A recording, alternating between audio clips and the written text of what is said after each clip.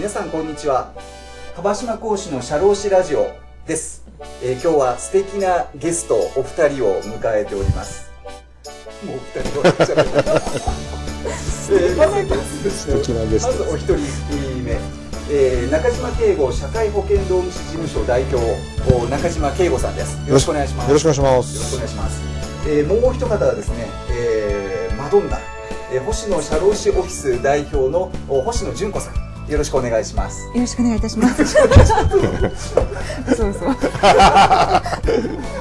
嘘いらないしうんあの徐々に徐々にあの少しほぐしていきますので、はいよろしくお願いします。よろしくお願いしますはい、あのお二人はですね、えーもうあの共同でビジネスを立ち上げられて1年そうですねえーですねはいまあ、その話もちょっと後でしてもらおうかなと思います。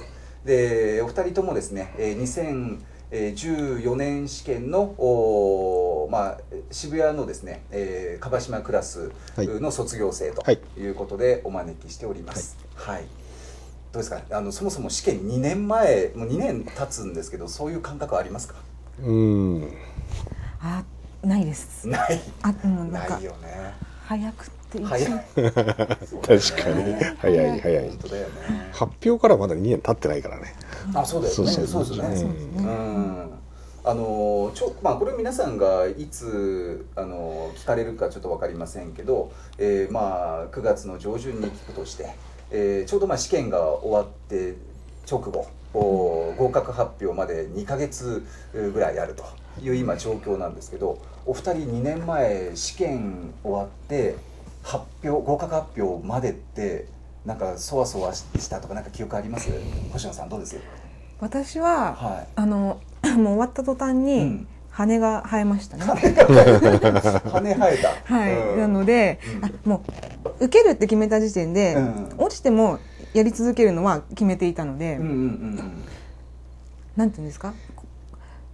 こ答えが出てしまうと、はい。はいまた勉強を始めなければいけないと。ああそっか。じゃあ だからそう僕答え合わねちょっと思い出してきましたよ。あの星野さん試験終わってなかなか自己採点をしなかったですよね、うん。まあ最後までしなかったですけどね。最後まで結局最後までしなかったっけ。しなかったです合格発表までしなかった発表だけ見ました。うん。いやちょっとそれも思い出してきた。と あのーそうそう合格発表の当日に、なんなん夕方くらいだっけ？なんかメール来て、あの信じられませんみたいな。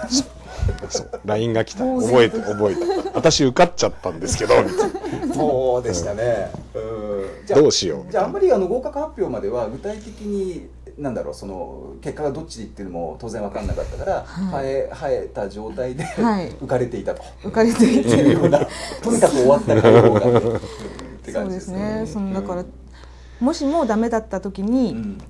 次どうしようかっていうのを心の隅に置きながらも、うんうんうん。まだそこに行きたくない自分がいた。現実逃避がちょっそうですと長かった。そうですそうです。うん。中島さんどどんな感じでしたっけ？僕は当日、ん。レックの横浜校ではい。沢井先生のはい。自己採点のあの中継を見ながら、うん。ユーキャンの回答速報をスマホではいリロードしはいてはいはいはい。でまあ1時間あその日にもはい。う点数を把握したん把握でして、まはい。あ、一応合格ライン以上には行ってたので、ただあのレックとユーキャンの回答が違う、回答が違う。2問ぐらい違う 違うっていうどっちだよ。レックに従うと50何点。ユーキャンだとそうそう40何点みたいな。そうでしたね。それでやたら沢井先生がええ。なんか強気の高い合格ラインを出していて沢井先生の合格ラインと僕はボーダーだったんで。ええええ50いくかもよぐらいのなんか、ええそりゃねえべみたいな。そうそうそう。言ってましたね。まあ、とりあえずそうそうそう、ん。それだったんでまあまあ受かったかな、うんうんうんもしかしてみたいなノリではいたのであ。合格後のことをどうしようかなっていうのはうん。2か月間は考えられたっていうのは正直なところですね、はい。あのーそうですね。あの年は選択式が労働の一般常識がまあだけちょっと難しいイメージで、うんうまああれがどうかなと。だからあれ3点クリアしてる方はまあ択一う択一もまあ結構40後半取れてる人が本当に多かった。足切りは1個もなかったので、ねうんうん、そんな感じでしたね。うん、っていうあの時からもう2年経つのはちょっと早いなとうんいう感覚ではありますね。であのお二人はその合格発表後おまあちょっと話せる話と話せない話が あるかもしれないんですけどあの中島さんは、えーまあ、その合格前からもう会社を立ち上げてそうですね。経営コンサルタントとしては独立していたので、まあ、そこに労務を、まあ、プロフェッショナルとして加えるっていう目的で社労士の勉強してたので、はいはい。はいはい、だから仕事は何も変わらなかった、ううん。んもともとコンサルをされてそうですね。はい。はい。業界は飲食。IT ですね。もともと IT 業界なので、はい。ただ IT の大手から中小企業に向けてっていうのと、うん。あとはまああの後も話が出ると思うんですけど助成金をコンサル時代から実はやっていたので、うんうん、あそっかそっか、はい。もう中小企業向けそうとないか。そう。ですね。それで最後に社会保険労務士っていう人がはい美味しいとこ持ってったので。無資格者としては悔しいなと。じゃあ自分で取ったのかと。デザートまではい。もらうぞと、ではい。なるほど。なんだよ成功報酬って。俺だろ成功したのはみたいな。でも書類1枚書くだけでなんで 10%15% 持ってくんだお前らはみたいな。生々しい話たいと思ってますよ。じゃあちょっとそれはまたあのもうちょっと後であのお聞きするとして。星野さんはあの受かった時あのお勤めされて。そうですね。うん。勤めてましたね。まあそのあたりの話は多分できる話できない。あると思うので、えーあれですけど。あの合格した後っていうのはあのすぐにこうじゃあ次の一歩ってすぐに考えられました？か、いや考えられなかったですかね。そう。うん、ただもう中島さんからそういうお話をいただいていたので、うん、うんうんうん。うん受かった。ねうん。やろうねっつって。うん。なんかでもう具体的なこうプランが。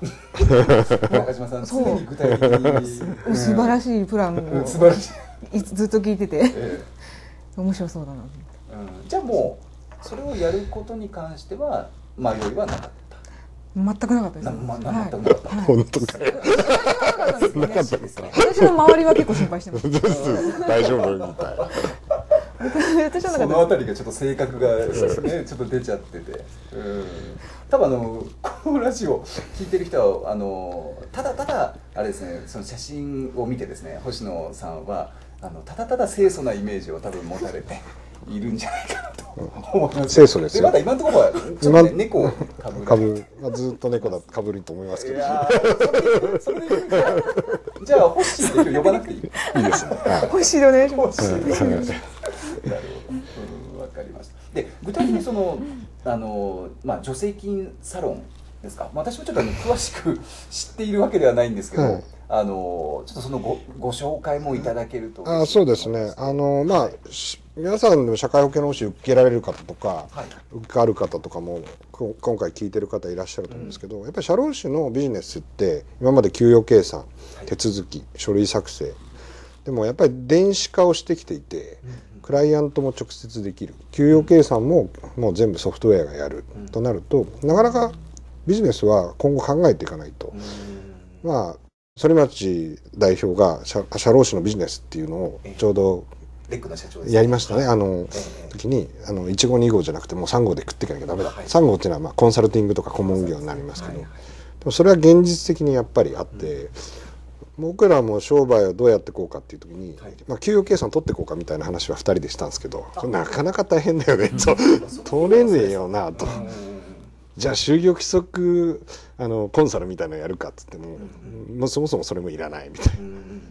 じゃあ助成金って誰もやってないよね。で誰に聞いてもリスクが高いと、うんうん。じゃあ高いならやってみようかっていうのが僕の発想で。ってことは参入障壁が低いが高いので、他社はやれないでしょ。でなんで高いのかっていうのをまあ研究というかやりながら分かったんですけど、うん。片手間でやれるビジネスじゃないんですよ。うんで社会保険労務士ってすごく幅広いビジネスで、広いですね、うんお医者さんでいうともう離島の医者みたいなもんですよあのもう全部やらなきゃ全部やる。もう怪我しても見なきゃいけない。うん。風邪ひいても見なきゃいけない。体調悪いって見なきゃいけない。時には歯医者もやんなきゃいけないんじゃないかぐらいうん。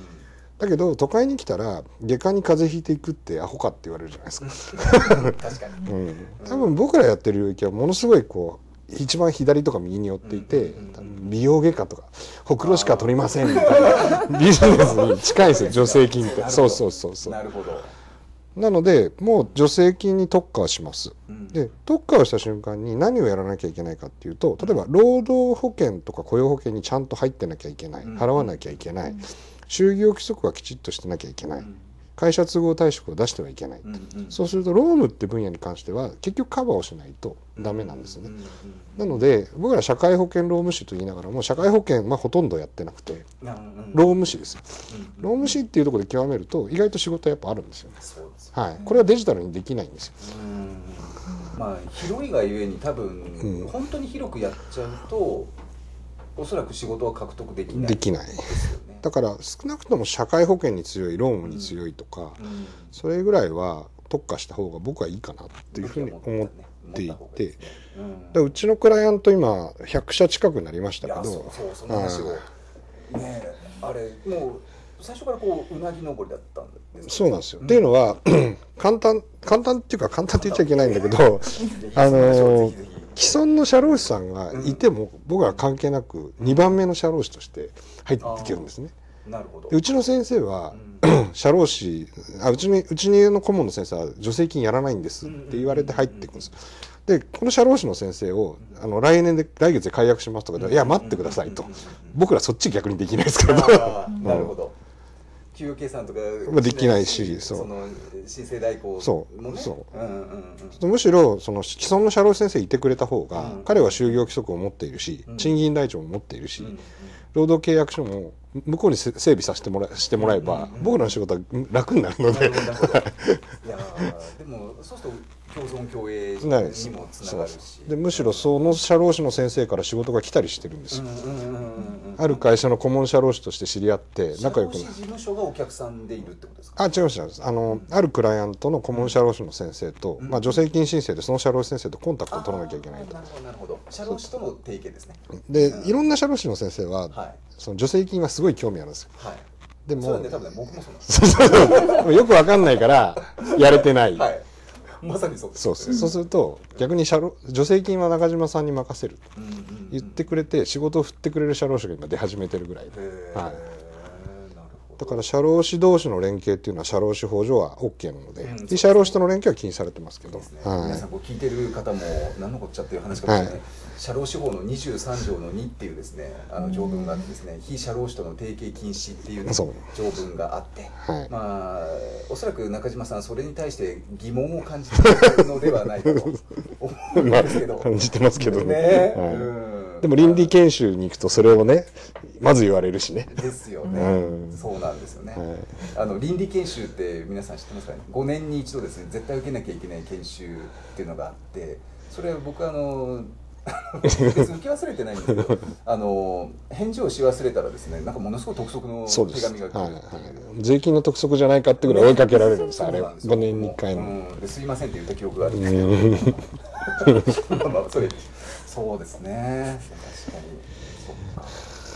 じゃあそじゃあ今あれですねそのクライアントは100社を数えて。そうですね、では毎月その助成金サロンっていうその勉強会を、はい。を開いてる。い、今月4回、はい。えっ、と東京で2回、うん。まあ東京近郊で2回から3回、うんうんうんで今度初めて大阪でやるんですけど。はい。でえっ、と大阪のか、えっと大阪市内ですけどもこれも社労士事務所と連携をしてええ。3社合同でうーん。100人の会場を取ってしまいましてですね。おおすごい。あのひょっとしてえどこですかね？あの、えっ、と堺筋本町の会議室ですね。あとこの前沖縄でもやりましたし熊本でもやって。僕の記憶だとホッシーは沖縄が好きというはい。でもそれがでもおすすめですよね。そうそうそう。よくあの学校通ってた頃に中島さんが沖縄に出張に行くって話を聞いて 言ってた。ていいなって言った人言ってた。それをなんかものすごく羨ましがってるのは僕も記憶にありますでもいざ一緒にやってみたらハワイがいいとか言い出して。ハワイじゃ社労士通じねえよっつって。ハワイはだってアメリカだからただの人になるぞ俺らっつって。事務所開けねえぞ。ただのうんなるほど。あれ沖縄には星行ったんだっけ？はい。うん。行きましたね。何回か行きましたね。何回か行ったんだ、はい。うん、あのえこうまさかまさか部屋の中に缶詰とかじゃないよね？缶詰だったな。ね、リモートワークができるかどうかっていう。実験。あーあああそうなんだ。それ実はテレワーク協会って協会でうん。うん講演もしたんですよ、あ。その実験結果。生産性が下がらなかったって、はい、テレワークも結構みんななんあの言葉は聞いたことはあるかもしれないけどいまいち多分分かってない人も多い。はい。そうですね。テレワークってイコール在宅とも限らないですね。今は在宅だけではないですね。はい。あの要は外でやればうんうんうんうん。いいというだからうちの事務所は一応就業規則、うん。あのありますけど、うん。ありますけど別にどこで仕事をしてもいいことにしていて全員ノートパソコンと w i f i ポケット持っていて、うんうん全ての資料がクラウドのストレージに入ってるので、はい。極端な話ここでちょっとって仕事やろうと思えばできる2人とも、うんうん。うん突然やることもできる。そういう環境はだから台風の時とか今日ちょっと疲れちゃったんで私仕事会社あの事務所来ませんみたいな全然あり。それ欲しいのことじゃないえあったよな。結構あるたまにある割とありました割とある。割とある、身をもって身をもって実践して。うる、ん、たまたま事務金の人が今日はいない。僕も行かない。もう一人のスタッフも外回りっていう時に私も外で家でやりますみたいな。そういう日に限ってアスクル頼んでるの忘れた。携帯で分かって。そうそうそう。なるほどでも働き方改革ってね今、うん。大大臣もできたじゃないですか。はいあの辺って僕らは実は実践をしているしうん。で東京都もそこに対して助成金実はもうつけてたりとかするし、なのでそのどこで働いても僕はいいと思っているし、うん。そういう環境にはなってきたかなと思っていて、うん。その助成金って多分、まあ、さっき中島さんもあのおっしゃってましたけどあのみんなこう興味はあるけどなんか変わるのが早いっていうイメージが強くて、うん。多分みんななんか正しい知識とかなんか得られてないのかなって思うんですけど、うん。助成金ってこれからどうどうなっていきますか。あでもねそこはあの白書講座なんかで、うんうんうんえっと、川島先生から聞いた話って、結構僕実は講演で喋っていあてそうなんですか。あの雇用安定の定義って何ですかって言った時に、やっぱり1年以上の雇用を作っていく、うん。そうすると再就職手当とか重要雇重要雇用手当とか、あの失業保険側にもあるじゃないですか、はい。そうやっぱり今厚労省は1年以上の雇用それから正社員化。うん。これを求めてる。これがやっぱり雇用安定ですと、うんそれからもう一つのキーワードに能力開発っていうのがあって。はい。でこれは研修みたいなのをバンバンやるだけじゃダメで、うんうん。研修の前の前提としてその人がどういうスキルを持ってるかっていうのを物差しとして測ってあげる、うん。これにも今助成金つけてるんですね。ああとは両立支援雇用均等って2つキーワードがあって、これが全部雇用保険のいわゆる2事業の中の助成金だとうん。勘定科目として4つ載ってるんですよ。でそれぞれの施策に対して金がついてるってことは、うん。この施策を理解した上でそれにいわゆる業務のスタイルを合わせていくとうん。ちゃんと金が出るっていうのが助成金の構造なんですね。はい、それをまず理解をしてもらえれば、うん各社さんは毎年何百万の助成金で取れるわけです。うん。なんか結構あとねその申請を出す時になんかいろんな書類ねそうですね。出すとかまあはい、まあルールだからもうそれはあのしっかりそれを認識すればいいとは思うんですけど結構そこに二の足を踏んでるうん。人も多いでしょそうなんですよ。ただそれもすごくシンプルで、うん。要するにその人が働いていたかどうか。うんうん。助成金っていうのは雇用保険被保険者に対する施策、はい。はい、で財布は雇用保険から出るんですよ。はい。全て。一部労災から出るものもあります、うんうんそうすると事業主が何かやってももらえないわけですよね、うんうん社長が自ら研修行ってもはい。雇用保険被保険者ではない。うん。簡単に言うとスポーツクラブの会員でないのにジムを使わせると言ってるのと一緒なわけです。なるほど。で実はジムに入ってる会員は労働者なわけですよ。うん雇用保険被保険者。でその人が例えば半年間の何かの施策に参加をすると雇用保険から助成金が出るわけですじゃあ本当にその施策を参加した時にうん。いたのかうん。お前はと。うん。うん。ってことで出勤簿を出せって言われるわけです給料払ったのかと。うん。で賃金台帳を出せばいいわけです。その期間ちゃんと規約を守ってたのか。じゃあ労働契約書もしくは雇用条件通知書を出せと言われるわけです。うん。でこれは労働契約法労働基準法でうんなきゃいけない法定書類なんでコピーを出せないというのがおかしいと。そうですねまあない会社が結構あったりしてですね。賃金台帳。賃金台帳は大丈夫。は源泉徴収してるんでこれは税務署からすごい言われるんでうん。必ずある。意外とないのは労働条件通知書。がない。とかあと勤務表もなかったりする。出勤簿うんなかったりする。なので出勤簿の作り方から教えたりとかっていうのがあって意外と助成金をやるために、はい。その労働の基本的なルールっていうのはうん。ピシャッと教えていくし、うんじゃあなぜそれがないなきゃいけないかっていうのも法律上うんもあるしうん。例えばよくあるのがその3箇所事業所があります、うんお店とかも3箇所持ってる飲食店で,、うん。で雇用保険の事業所としては本社しか登録してないうん。本店とか登録してない、じゃあ他のお店で事業所登録をしてなかった時にうん。やけどをした社員がうん病院に行きました、うん。でも労災の事業所登録してないとうん。全額負担ですよと。あ大丈夫ですか？ーうんうん。これ100%負担じゃないですかうん労災そうですね。じゃあ入っときましょうかとかね。なるほど。そういうような最低限守るべきルールっていうのを助成金を通じて実は作ることができる。なるほどそう普通は作るのにコストかかるんだけどうん。助成金もらってもらって作ることができる。そうかそうか、はい。そうですよね。そこ関係もあって多分中島さんも多くの会社の就業規則とか、はいそういうのを見てます見てます。機会があります。あったと思います、うん。それで今まあ見てるのは実は星野さんの方が多いんで。そうですよ。おお、むずいですよ。もう賃金規定と就業規則のリンクがうもうない。で就業規則見るとんうん。50万って給料書いてあるのに、給与計算ああの労働条件通知は30万で賃金台帳20万でどうしてですか？みたいな話とか、へーこの矛盾からですね。もしあの就業規則で会社でほらいろいろ例えばオリジナルのありますね。ルールとかね、はい。あのもちろんあの会社名言っちゃダメよ。こういうなんか面白いなんだろうねそういう規定ってあっありました最近。あ最近？あの、うん。ご相談されたんです、うんうんうん。が来たんですけど、うん、何系の話なの？喫煙。喫は煙うん。自動喫煙的な？いいえ違うんですよ。タバコを吸う人たちが、うんお昼の1時間以外に、うん。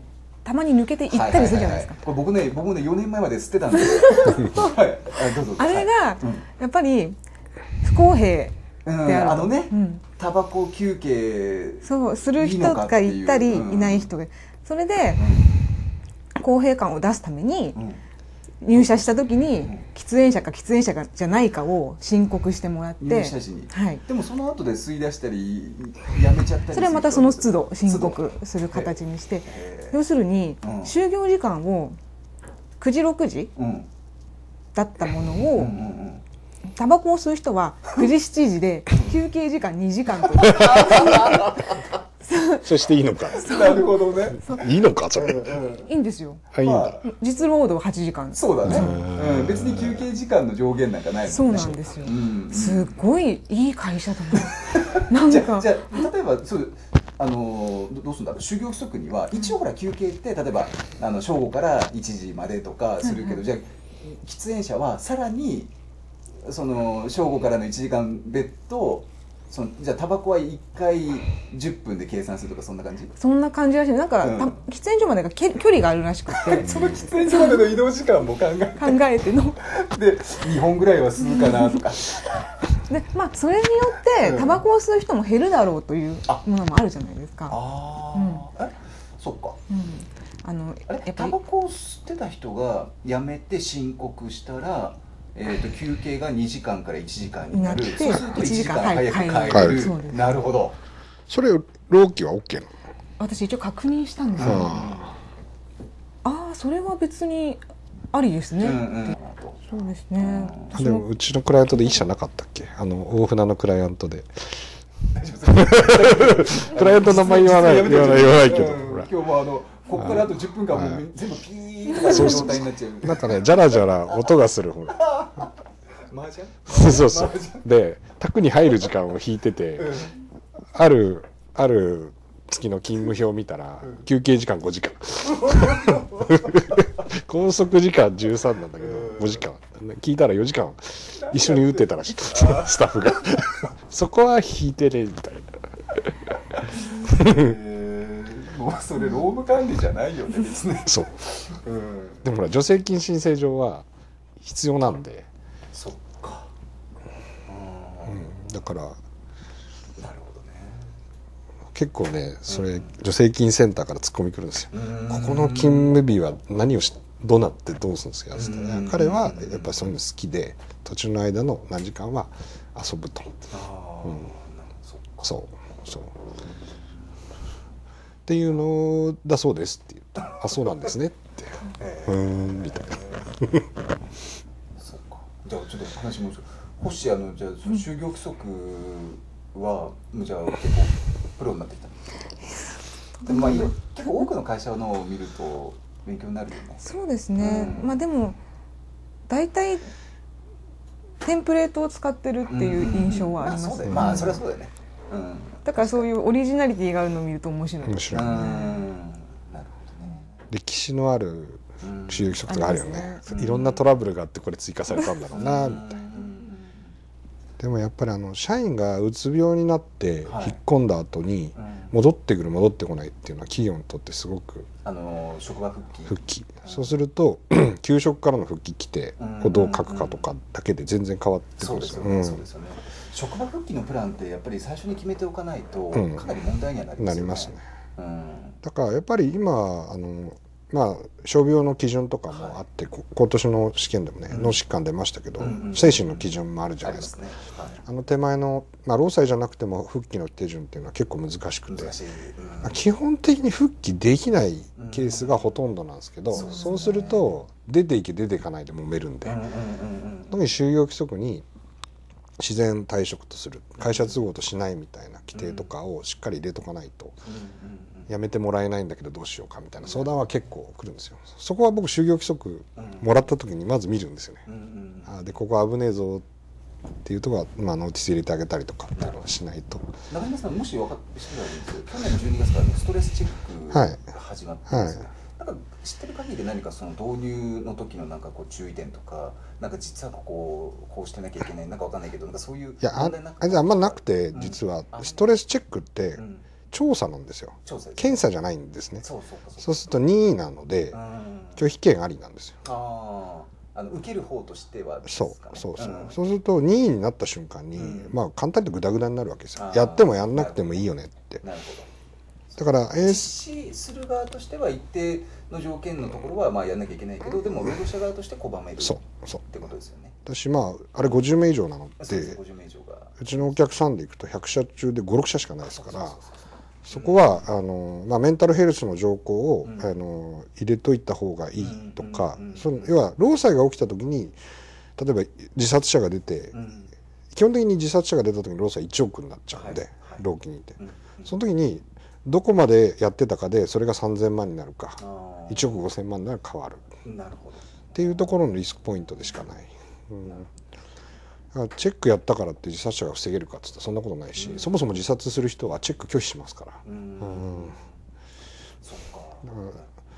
だから大手なんかはビビってやっぱり上場してる会社なんかはね株価それで変わっちゃうんでうん。やってますけど中小がほとんどそこをやるっていう概念はないですよね相談はされますけどじゃあちょっと制ね度上はやっぱりちょっとあれですね。見直していかないとその本当に目指しているところがうん叶わない可能性はありますね今の制度だと。うん。な当然大企業に入れたかったんですよね厚生労働省は。で産業界の反対を仕切って頑張って入れたところっていうのは政策としてはもう全然僕はいいと思ってて。じゃあ中小が何をすべきかっていうとうん。まだまだ曖昧ですね、うん。はい、これは僕厚生労働省のいわゆるこの労働安全衛生法を改正する室長にも講演してもらったことがあってうん趣旨も全部直接お伺いしたんですよ。うん会いに行ったので。その時もやっぱり結構気合を入れて導入をしてたので、はい、ただ中小企業が何を気をつければいいかっていうと、ん。まだまだこれこれからなのかこれからもあるのかどうかわからないですけど、うん。じゃあそんなビビるポイントではなかったっていうむしろマイナンバーの方がよっぽど大変みたいな。そうだ、うん。あれですもんね。マイナンバーも結構早くからはい。やってますやってます。やってます、ね、やってましたよね、はい。今もやってますけどね、あはい。本当。うん。マイナンバーどどうですか？まあ本格本格まあもちろんもう1月からされてはいるけども例えば、えーね、社会保険健康保険とかはいらない。ね、来年からとか本格的に使うのは来年の税務署に出す1月31日向けの法定調書にうんうんうん。マイナンバーを入れて申告をか各社が申告をしなきゃいけないので。本番はこれからなんですよ、ね、これからです。でもなんとなく世間的には、はい。なんかもうちょっとブームが終わったぐらいの感じになってる。けどとんでもないですよね、うん。だから労労働保険の申告はマイナンバーを一応入れることにはなってますけど実際電子申請でなくても入っちゃう。そうですよね。しうんあのマイナンバーを出さないことに対して罰則がないので各労働者向けにね。そうですね。なので、えー、とうちは何もうん。ないっていうか僕らマイナンバー触んないし、うちはマイナンバー使わないので基本的に手続きしませんから、それもちゃんと言っといた方がいいですね。しないってこともないんだよな。やってんしないだよって言っちゃダメじゃない。な でもやってるんですよ。まあまあじゃあ今のはじゃあ本音ということで。一部スタートアップベンチャーがあって全部まるっと見てる会社が45社あってですね。そうなんはい。そこの部分そこはやらざるを得ない、休憩さんはやんないですけど、やっぱ慣れてないから遅いですそれはしょうがないよね。うん、わかりました。じゃあちょっと話ガラッと変わるんですけど、うんあのこれをあの聞いてる皆さんあのなんでしょう。こう試験勉強を始めた？来年の試験に向けて始めたばかりの人もあのいますので皆さんちょっとあのお二人初心に帰っていただいてですねあの勉強の何かこうアドバイス的なものをはいはいはいお二人でどうやって勉強されてじゃあ俺からいくかな。ああそうですね。中島さん。僕は川島先生の授業をはい毎日聞いた後に、えー、とその後実は渋谷のカフェに行って、はい。あのそこに対する問問題演習があったはずなので、そこにあの僕は赤下敷き作戦だったので赤下敷き作はい。戦赤いペンで、うん。えあの演習択一ですから、丸をつけてそれで赤い下敷きを乗っけると答えが消える、うんっていうことで毎日復習をしてました。で問題演習に関しては全部赤丸赤下敷きでずっとやっていたのでう、ん。あコツコツやれたのかなあの試験だけは、中島さんのあの勉強ですごい印象的だったのは中島さんフェイスブックをやってて僕もやってるんですけど僕あの中島さんに勉強の進捗を確認したことがないんですね。なんでかっていうともうあの自分でアップされてたんで。追い込んだんで。そうそうそうそう。もうあのだからまあでもそこまでメンタルがすごいと思ってなかなか今今日これやってますや。りきりますってなかなか言い切れないでしょうね試験1か月前ね、欲しい。はい。言い切れないよねこれね。すごいですね。だからそこはね、なんかこう自分でこう開示して、あの自分を追い込むというか、うん。そうんそれは中島さん すごいとこだなって、ん。あれで落ちたら超恥ずかしかった。シャレなら。んうん。それね僕も感じたんですよ。どう言い訳しよう。の中島さんすごいあの試験当日の本当ね10分前ぐらいまで更新してましたよね。あしてました。携帯あ僕のの僕の最後のメッセージあれですもんあの早くあの電源切ってくださいそうそうあれあのですよね。袋に袋にはねそうですよね。入れ入れろってね。携帯鳴っちゃいましたじゃん。そうそうそう。笑えないから、うん。失格になっちゃうんですもんね。失格になっちゃうからね、うん、星はちなみにあの勉強僕ね一個だけちょっと思い出したことがあってあの試験の1か月前だから最後の3回目の模試はい。の時にい一気にこう点数が上がってこれ要するにあの戦える状況が整ってきたのかなっていうのをすごい記憶してるんです。そうなんですよ。多分ご自身覚えてない。覚えてないです。うん、俺もし戦える点数取れたことなかった。そう中島さんなかった中島さんなかった。そうそうそう全く戦える点数とか取れなかった。うん。一回も。でもでもまああの中島さんある意味自分のペースをしっかりやっ掴んでたので、あんまり実は気にはしてなかったんですけど、うん。ちなみにあの2人あの社労士試験の科目って覚えてますか？そもそも。社労士試験の科目っていうか。憲法とか。ねそうそうそう憲法言ってたっけ？憲法。ねえよ。憲法ない？行政法。あれ？違う？それは行政書士あそっか。混じってる。あのなんか得意な分野とか苦手な分野とかお覚えてます？なんかこう苦戦したなとか何かこああ苦戦したのはあれだ。徴収法だな。う調子のメメリット制だな。リット制。いまだに分かんないね。18か月後に上がるとか。うん。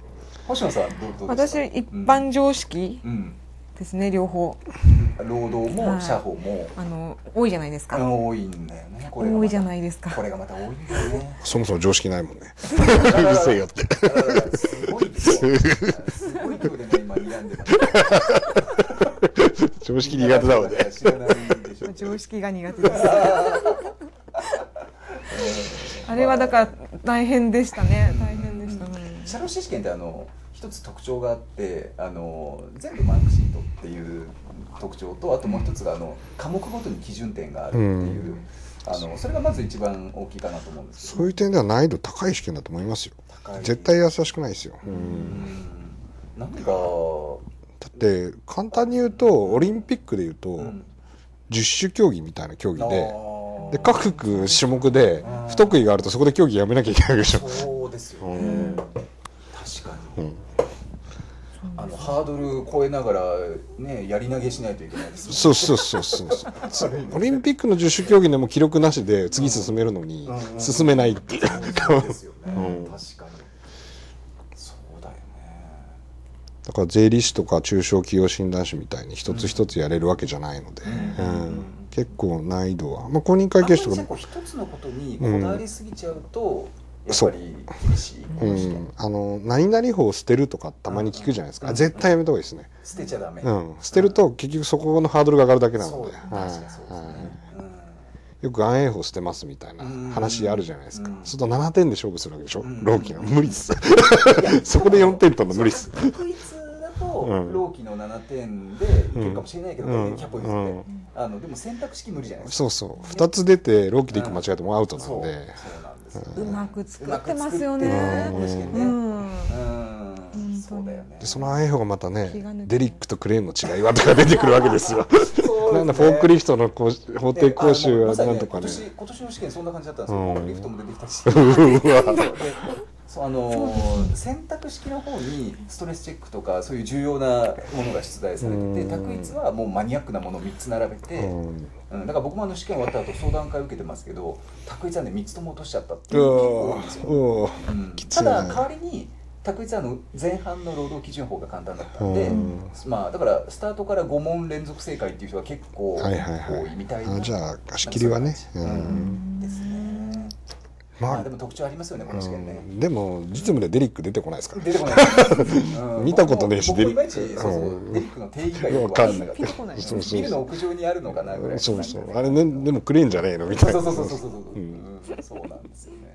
懐かしい。シャーってなんだよ、うん、そうそうそうそうそう。わかん。ないっすよ現実出てこないですね。ですね。え。じゃあそんなあの勉強したての受験生のみんなに何か一言ずつでもいいんで メッセージありませんでしょうかね。どうですか？そうですね。まあ基本的にですね、うん。これは川島先生の講座を受けながらあの、はい。池松先生って先生いるでしょ、彼のはい。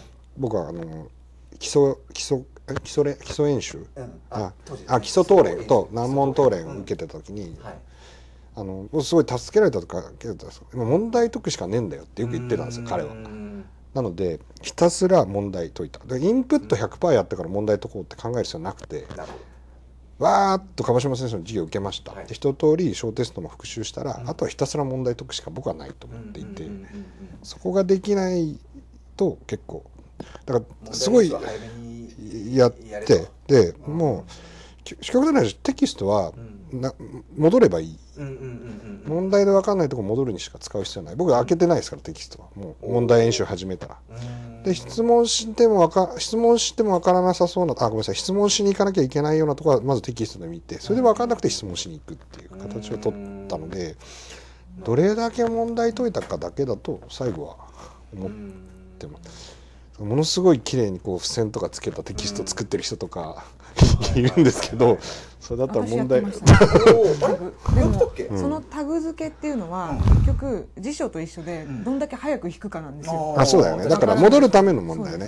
チェックポイントインデックスをつけてたねみいな感じうん。あー。そそれやっぱ各テキストにそれをつけてだんだんそのうちそれに頼らなくても開けられるようになるね。あそれはやってた。あの戻ったところは折ってあ復習の時には使ってた。ここそういや穴だったなっていう。のうはうんだからそう。もうなんかひたすらインプットだけで受かる科目ではなくてうん。アウトプットの練習をしっかりやらないとうんうんうん絶対受からないと思うんですね。で結構アウトプットやらないやってないんだろうなって人って直前の最初の出てるの見てて。それやっとかないとスピードも遅くなりますよね。そうそうそうだよね、確かにね。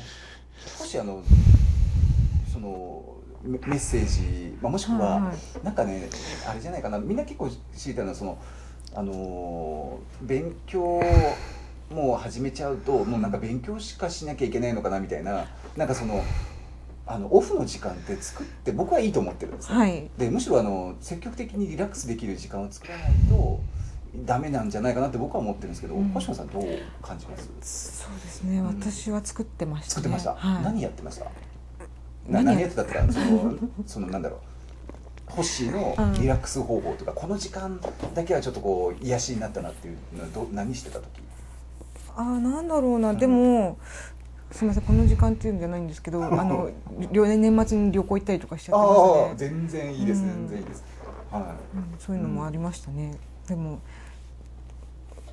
そうだよね。だから一緒あれでしょ、うえっと、年末ってことはう試験のういね67か月前ってことだよね,、はいねだから全然行っていいってことだよね。うん。いやいいでしょ結構だからみんなねそうなんかこう、うん。完全に禁欲的にならないといけないって思っててそんなことないんですよ。そうですね、逆に禁欲続かないですよそこまで、ね絶対続かない、最後1ヶ月ですよやっぱり。うん。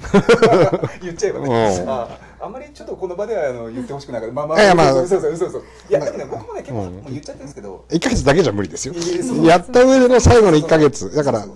社労士試験で一番大事なのは何月ですかって言われたら僕は8月8月って答えて8月次に重要なのは7月ってうん答えてて、そうそうそう。あの8近づけば近づくほど重要にはなるけど、でもそれってあのー日頃の要は積み重ねのもとにあるので、うんだ簡単に言うと8月に何をしなきゃいけないかが7月末の時点で分かっていれば僕は受かる受かるんじゃないかなってやってみて思ったです明確に8月に、うん、何をできるか、うん、だからテックって4回模試があるじゃないですか、直ファイナル模試ってやつです、それで僕はそれ以外にタック2回受けたんですね、で7回分の模試をやるとはい。2450試あるんですよ、うんうんうんうん。択一だと。おー350かける7うんかける7ね。で、はい。それだけ全部やっとけば、うん極端な話それ完璧にやっとけば、うん。合格点までいくんじゃないかぐらい、うんだって各予想問題、うんオブ予想問題でしょ、うんで見てるとやっぱ同じ問題いっぱいあるんですよね、各レックでもタックでも出たみたいなね。だからかぶった問題は当然ダブルで抑える抑える。うん。うん。ですよねそれのとあといわゆる、えー、と実践答練でしたっけ、うんうんうんうん。ついてるやつを完璧に復習できれば、多分合格ラインいくんですよ、そうですね。うん。だけど復習をするときに、うん。その基礎基礎知識がないと、何言ってんだろうって分かんなくなるので、うんうんうんできないです。止まっちゃいますもんね。止まっちゃううん止まっちゃう。最後の1週間で、んうん。僕やったのはあの分厚く全部の答練とかを重ねて、できたところから破いて捨ててって。ああ言ってた言ってた。そう。で最後の 1日にものすごく薄い冊子になってそれを僕は試験会場に持ってったんです。あとあの僕の道場のあのレジュメも持ってきました。持ってきました。あれも半分ぐらいになっちゃう。宣伝になったんでありがとうあれもあれも半分ぐらいになりましたよ。捨てたんであのやれたところは。あとあの2年前って言ったらあれですね、こう試験の直前にそのやった道場道場っていう直前講座があってそこであのみんなにあのサイン入りのですねペットボトルああもらった水のねもらったもらった。あげてでみんな試験当日持ってってねっていうコンセプトだったんですけど中島さん試験当日に持ってったの誰でしたっけ？息子さんでしたっけ？そうそう。うちの息子があの部活に持ってっちゃった。なんかあれねえと思っておかしいなっつったらうちの息子がテニスからね。そうテニスの部活になんかなんか書いてあるペットボトル持ってっちゃった。そう思い出し謎のメッセージでねそう。頑張れってね。うん。よくわかんない。あれ良かったですよでもなんか。うん。うん。今年はねあれなんですよ。あのペットボトルの水じゃなくておでこに貼るシートあるじゃないですか。ああピエピタピエねピタ的な、うん。あれにあのメッセ、まあ、あれに貼るやつじゃなくてその放送用の 紙のね袋を縛らずに。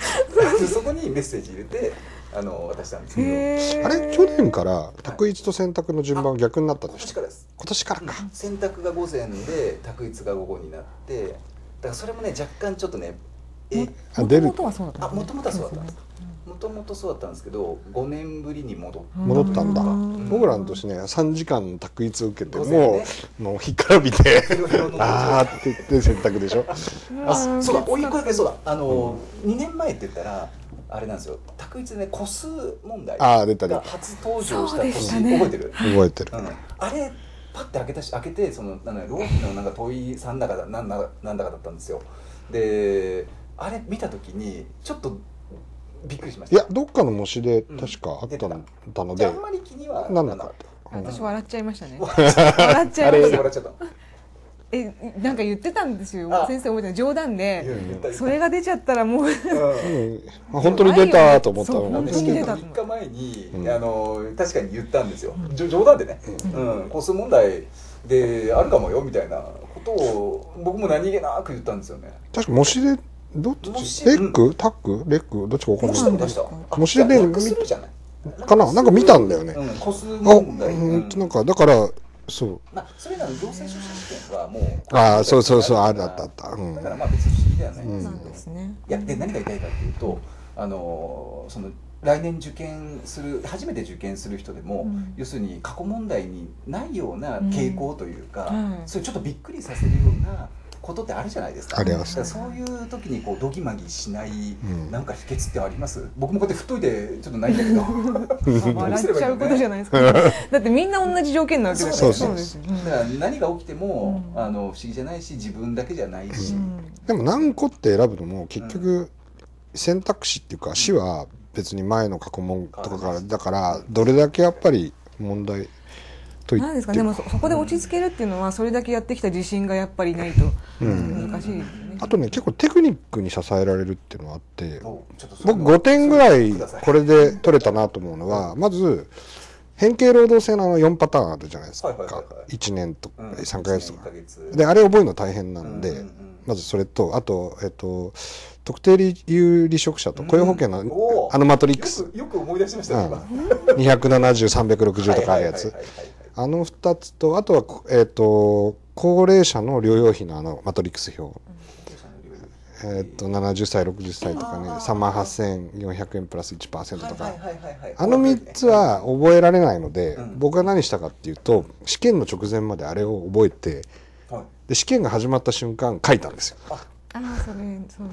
あ試験始まあった瞬間問題用紙に問題用紙の裏にあの表を全部書いてそう。っていうのがーあー例えば例えば雇用保険の所定給付日数。すあの表を書いてあと高高額療養費書いて変形ロでそれでも出題されるかわかんない。されたんですよ。あ実際。されてるっていうのを確認してから。いやいやいやまず書いたの。これ出たら俺解けねえと思ったからあの3つの表をまず書いたんです なるほど。でその後に、うん。そのこれだ誰だったかな、年アドの試験を受けた時の、今いらっしゃる今井先生が言ってたのかな、なのはそのないものを選べとかあるものを選べっていうことで、この選択肢問いが何を問われているかをはいはいはい。例えばあるものを選べだ正しいものを選べだったら丸、うん。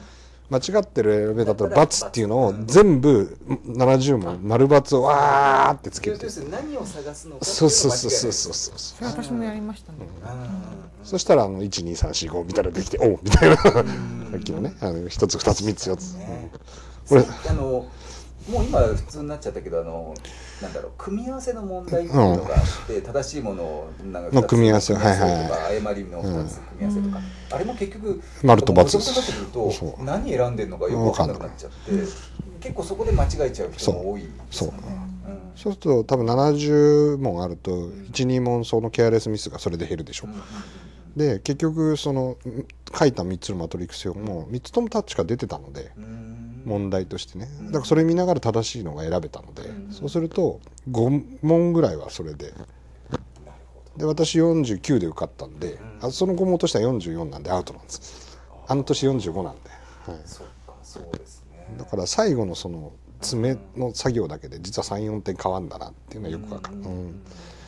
そうするとやっぱり8月の勉強で自分が何が苦手なのかっていうのを把握してれば、苦手なところを試験会場の直前の喫茶店で全部頭入れてうん。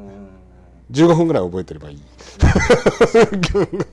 記憶15分でいいです。よ15分ぐらいガーって書いちゃう。去年の試験、の試験の方があの、えっと、その午前が選択式になったからあのスタートがね10時半なんですよ。あーだからはいはい。2人が受けた時は9時。9時半とかだった。9時半かな、うん、でうん3時間。だから朝の時間もうまく使えるかもしれないですね、うん。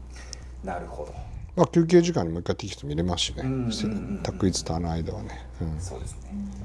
いやーお二人今日どうもありがとうございました。あのーもうね何気に残り10分。そうそうそう。4 5 0分喋って あそうなんですね。はい。ねあんまりそんな意識ないでしょ？いつもねそうなんですよ。僕ね30分でこうなんかこう話したいことを3つぐらい一応考えてはいるんですけどだいなんかあんまりそんなに、うん、あでも僕セミナーをはい時計を見ながらええタイムスケジュールやって、うん。今日まあ聞いてる方は分かるんですけどモニターに時間出てて、ええこのぐらいのあれかなっていうのを 実は見ながらできてる。そうじゃあ時間配分そうですよね。喋る時ってそれ一番大事です、ね、うん、僕もねあの授業やっぱり考えててそれをそうそうですよこの時間の時にはもうここまで喋ってないとおかしいおかしいあります、うん、それはやっぱり考えてるたまに大幅に70分あ90分超えて喋ってる先生とか誰とは言わないけど。びっくりした。振り返り言ったら終わんねえ授業みたいな。そうですね。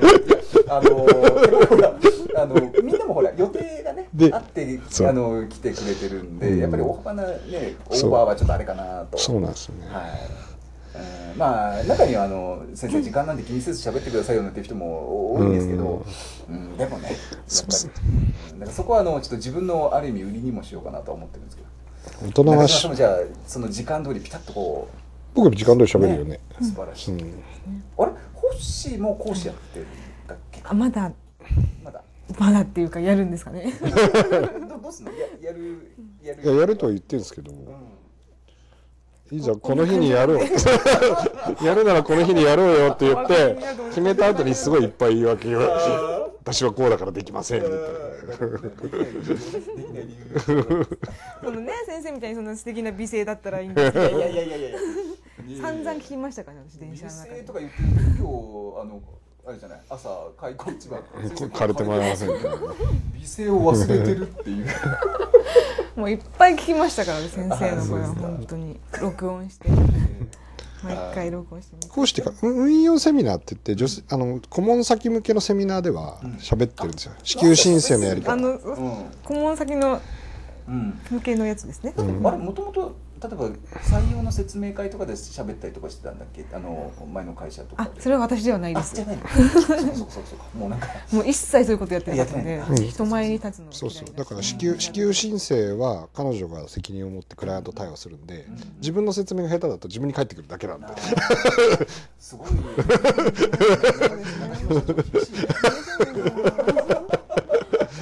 そうそう。そこだと僕が喋ってあなたの説明が悪いって言われるぐらいだったら自分で喋りなさい。そ したら人のせいできないしね。難しいですね。話すのは本当に難しいなとその労働局への申請も最初苦戦したりしてたんだもんね。今 も千葉の労働局からガンガン電話入ってるんですけどあれ。私一番泣いたのは電子申請ですけど。1月にねあのもうバグだらけの e ガブのシステムで何度もエラーで帰ってきて「うん、どう?」みたいな それで2月に沖縄1週間行ってこいっつって。あ気分転換で。気分転換だった。あれなかったらあそこで崩壊してたかもしれないね。うちの事務所はね。